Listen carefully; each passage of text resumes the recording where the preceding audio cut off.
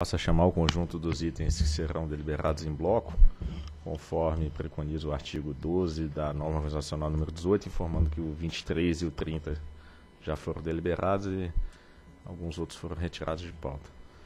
Informo que a decisão com o inteiro teor do relatório, fundamentação, bem como a minuta do ato administrativo estão disponíveis no nosso sítio eletrônico desde a última quarta-feira, dia 5 de novembro.